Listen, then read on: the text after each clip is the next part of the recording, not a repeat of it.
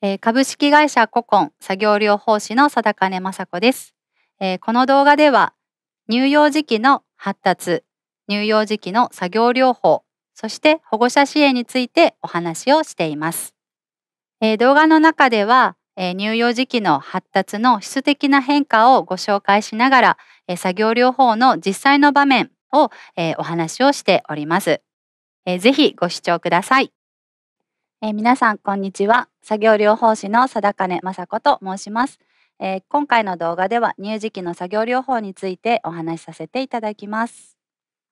では早速ですが少し、え私の自己紹介をさせていただきます、え今ですね株式会社ココンというのを立ち上げておりますが、まあ、そちらで育児発達支援室ココンというところを運営しておりますえ横浜市にありましてこちらの施設ではえ理念として育児と療育の狭間で埋もれる親子を守るということを大事に考えております。えー特に診断などの有無にかかわらずですね育児や発達の中で困りごとのあるあの親子の方が多数、えー通ってきておりくれております。えー親子クラスや、えー理学療法士作業療法士言語聴覚士などによる個別セッション自費の子どもリハビリですねあとは、えー無料相談会として子どもネウボラなどを通して年間延べ1300組以上の親子を支援しております。また、えー行政などの依頼をいただきまして、えー講演活動であったり教育機関や発達支援事業所でのコンサルテーション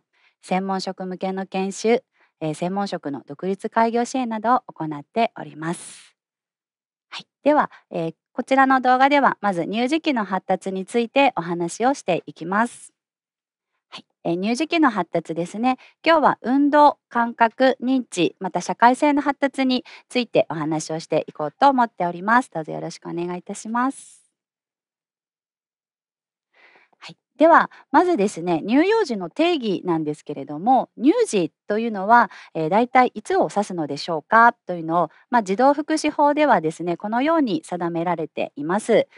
えー、1番ですね乳児というのは満1歳に満たないものですね。で幼児というのは満1歳から小学校就学の、まあ、初期に、えー達するまでのものそして、えー少年というのが小学校就学の初期から、えー満18歳に達するまでのものと一応定義がなされています。えこの動画では発達的観点から、え歩くまでの赤ちゃんですね乳児のお子さんについてお話をしていこうと思っております。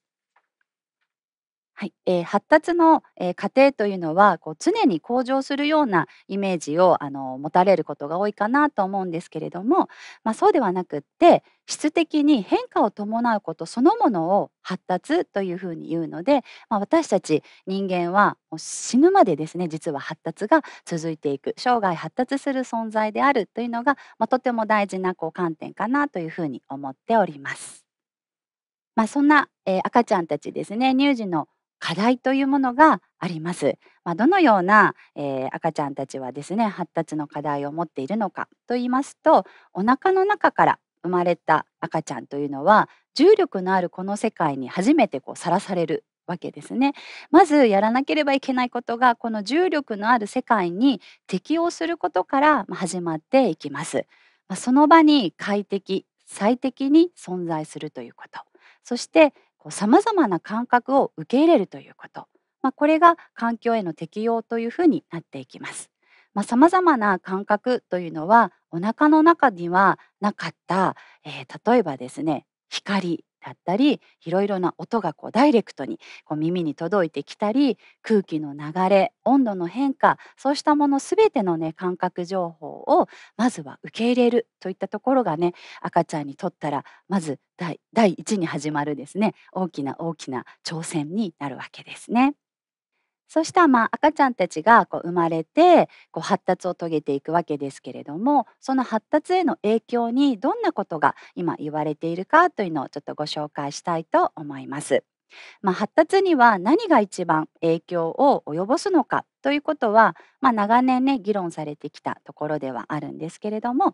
まあ、近年はですねこの遺伝的要因が発達に一番影響を与えるのかそれともえ環境なのかっていうような、まあ、二極分離したような議論が長らくなされてきたんですけれども、まあ、最近はですねこの相互作用説というものが、えー、非常に重要視されています。まあ、これはどういうことかって言いますと、まあ、多様な要因をもとにですね相互作用の中で、えー、発達というものは進んでいくんですよというところがあのとてもね大事な視点として、えー、言われております。はい、こちらがちょっと相互えー、相互作用説というものをちょっとお示ししたものになります。えー、こちらの相互作用説というのは階層構造による、えー、相互作用というものを示したものになります。えゴットリーブというね方がこのようなあの理論を定説されているんですけれども、まあ、個体発生というのは、まあ、相互に影響し合うこの4つのですね階層によって、まあ、組織されているとしています。まあ、一番下にあります遺伝活動というのがありますよね。まあ、この遺伝活動っていうものから、えー、その上にあります神経活動そして行動環境というふうな4つの構想になっているんですけれども、まあ、遺伝的な、えー、活動から神経系の構築を通して、まあ、行動に働きかけて行動することで環境が変わっていくそしてその環境からまた行動に影響を与えることによって神経活動や遺伝活動もまた影響を受けていくというように、まあ、それぞれの水準を通してですね相互作用に、えー、応じて発達というのが進んでいくよというふうに唱えられています。まあ、こちらが発達のカスケードと言われるものです。まあ、発達を語る上でこの3つの領域というのは、まあ、それこそ相互作用によって、え非常にですね関連づ関連づけられながら、えー、赤ちゃんたちの発達は進んでいきます。まあ、この3つの能力は人が生きていく上ではですねどれも欠かせない能力に、ね、なっていきますね。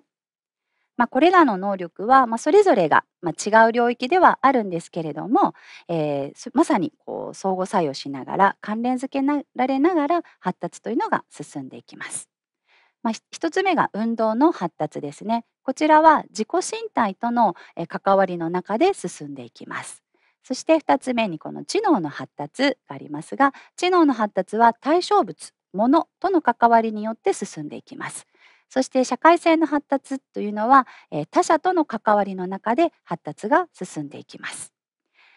えカスケードっていうのはですね英語で、ま小さな滝というような意味があります。ま小さな滝がですねこう一つのことをきっかけにこう連鎖していくような要素を表しているのが、まあ、このカスケードという言葉で表されております。まあ、例えば運動発達に、えー、の過程において赤ちゃんが新しいですねこう運動スキルを獲得することで、えー、知能だったり社会性とか言語といった一見こう離れた領域と見えるような、えー、発達を促すということがねありますね。はい、えー、この3つの領域を、えー、推し進めていく発達を推し進めていくのにもう一つ重要なポイントがあります。まあ、それが養育者の随伴性と言われるような、えー、まあ親ですね身近にいる親の関わりによってこの発達というのはさらにですね推し進められていくわけですね。まあ、例えば養育者が、えー、子どもが泣いた時に、えー、声をかけてあやしたりだとか、えー、赤ちゃんがこうジタバタと動いたところに「どうしたの?」と言ってこう抱っこしてあげたり主体的にこう関わっていくような相互のやり取りですねこれがあの発達にはね欠かせないよということが言われております。はい、こちらは、えー、発達の原理原則というものをお示ししております。まあ、赤ちゃんたちの発達には、えー、大まかなですね流れがあると言われています。まあ、これは頭尾の法則と言いまして、えー、まず一つが姿勢制御ですね。これは重力にこうして頭から、お尻に向かって、えー、姿勢をコントロールする力というのが徐々に広がっていきます。えー、そして筋位から遠位というのは、まあ、上司の操作性ですね、えー、肩から肘で関節指というように、えー、高知性がどんどんと進んでいきます。そして全体から部分ですね。はじめは生まれてすぐはこう自発運動って言われるようなこうジタバタと大きくですね四肢を動かすような、えー、ダイナミックな動き方をするんですけれどもそこから徐々に、えー、体は体幹はこう止まっているけれど四肢だけが動くだったりこう徐々に肩はしっかりと安定してきて手指が動いていくっていうようなこう分離性が、えー、得られるようになっていきます。まあ、一応ですね発達の順序はある程度は決まっているんですけれども全ての乳児が、まあ、このプロセスを、まあ、実はたどるわけでもないんですね。